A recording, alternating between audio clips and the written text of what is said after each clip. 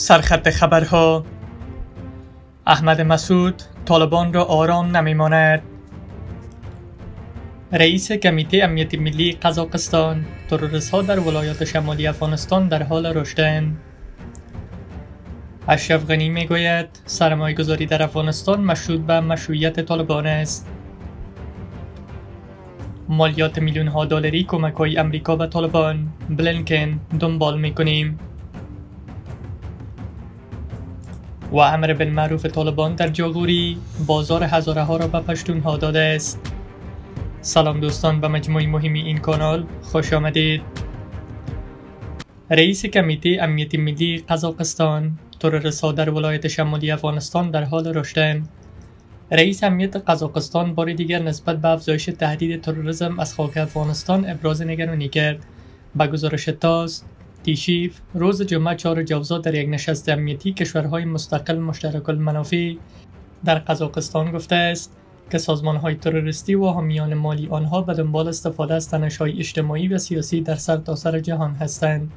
این مقام قزاقستان گفته است شمار تروریست در ولایت شمالی افغانستان در حال رشد است تا تهدید برای یک پارچگی مرزهای جنوبی کشورهای مشترک المنافع ایجاد کنند. با این حال با جزئیات بیشتر در مورد این اقدام که کدام گروه های تروریستی در ولایت شمالی افغانستان رو براش قرار دارند چیزی نگفته است.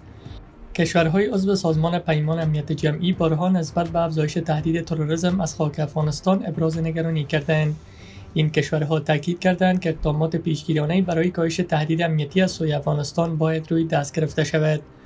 درست پیش اعضای نشست شانگهای در نشست قزاقستان نیز بر تشکیل حکومت فراگیر در افغانستان و مبارزه با تهدید تروریسم از این کشور تاکید کردند اشرف غنی می‌گوید سرمایه گذاری در افغانستان مشروط به مشروعیت طالبان است رئیس جمهور فراری افغانستان گفت که شرکت های معتبر برای سرمایه گذاری در افغانستان به ثبات حاکمیت، قانون و مشروعیت نیاز دارند. اشرف غنی افزود که بدون مشروعیت شبکه ها به صورت قاچاقی از منابع استفاده می کنند. اشرف غنی رئیس جمهور پیشین افغانستان از سلسله گفتگوهایش تحت عنوان رای زندگی که پنجشنبه سه جوزا منتشر شد در مورد معادن افغانستان صحبت کرد او گفت که استفاده از معادن بدون سرمایه گذاری کلان و امکانات فنی ممکن نیست غنی در این گفتگو هرچند اشاره مستقیم به طالبان نکرد اما گفت که بدون حاکمیت قانون و شفافیت از سرمایه گذاری نتیجه مطلوب به دست نمی آید. او گفت که برای سرمایه گذاری بر منافع و منادن افغانستان و مدیریت آن اراده واضح سیاسی و مشروعیت اولویت دارد اشرف غنی گفت بدون مشروعیت داخلی منطقه‌ای و بین‌المللی آن سرمایه گذاری هنگفته که ضرورت است که این منابع را به سرمایه گذاری برای تامین رفاه افغانستان و ایجاد مناسبات وسیع منطقه‌ای و بین‌المللی مبدل کند صورت گرفته نمی‌تواند جبهه احمد مسعود طالبان را آرام نمیماند. جبهه مقاومت روز جمعه اعلام کرد که دو عضو طالبان را در حوزه دوازدهم امنیتی هرات کشته و یک عضو دیگر آن را زخمی کرده است. جبهه مقاومت گفته در این حمله به نیروهای این جبهه و غیر نظامیان آسیب نرسیده است. در ادلایی که این جبهه روز جمعه 4 جوزا منتشر کرد آمده است که این حمله دیشب انجام شده است. جبهه مقاومت می‌گوید تا پایان دهی به سلطه نامشروع طالبان در افغانستان به حملات خود در مناطق مختلف کشور علیه این گروه ادامه خواهد داد.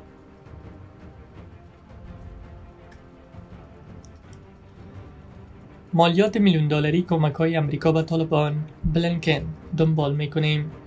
چهار روز پس از انتشار گزارش بازرس ویژه امریکا برای بازسازی افغانستان یعنی سیگار مبنی بر پرداخت نزدیک به 11 میلیون دلار مالیات از کمک های بشری امریکا به طالبان. بلنکن وزیر خارجه ایالات متحده گفت که این گزارش های تازه دریافت کرده و آن را دنبال خواهد کرد. آقای بلنکن که روز چهارشنبه دوی جوزا به کمیته رابط خارجی مجلس نمایندگان امریکا درباره سیاست خارجی این کشور در سال روان پاسخ می‌داد گفت که گزارش سیگار درباره دسترسی طالبان به بخش از کمک های مالی ایالات متحده را تازه دریافت کرده و روی هر گونه پیامدهایی که باید به دنبال داشته باشد کار خواهند کرد. او در این نشست با پرسش های جدی اعضای کمیته رابط خارجی مجلس نمایندگان امریکا درباره خروج از افغانستان و وضعیت آن تحت اداره طالبان روبرو شد. مست عضو کمیته رابط خارجی مجلس نمایندگان این کشور و آقای بلنکن را به دروغگویی به مردم امریکا متهم کرد و گفت این دلارها مستقیم به دست کسان رفت که از آنان خواسته شده بود این کار را انجام دهند. این شرکا تطبیق کننده که با آن اشاره شده است و مستقیم به طالبان پور پرداخت کردند. گاهی اوقات به آن برچسب مالیات می‌دادند. گاهی به آن برچسب مالیات برزش افزوده می‌دادند. گاهی اوقات آن را چیزهای مختلف برچسب می‌زدند. وزیر خارجه امریکا ما گفت که این کمک ها از مرجع های ملل متحد به مردم افغانستان فرستاده می شود و به دست طالبان نمی رسد هرچند که روی این گزارش سیگار نیز کار می کند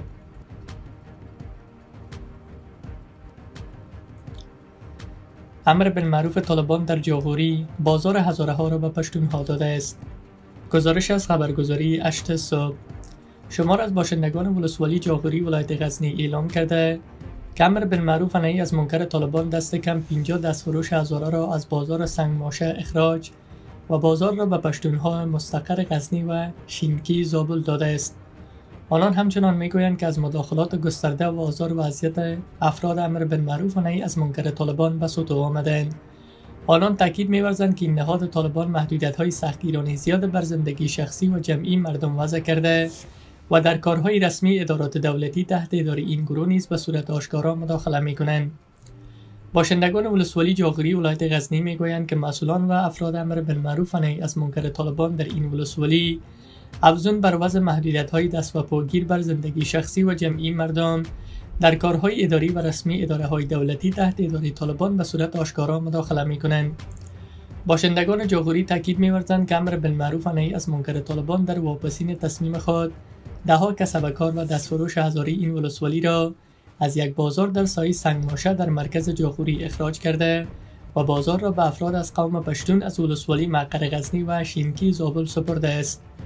باشندگان جاخوری می‌گویند که در این بازار نزدیک به 50 کسب کار و دستفروش بالای ملکیت شخصی یک فرد مصروف فعالیت های تجارتی بودند.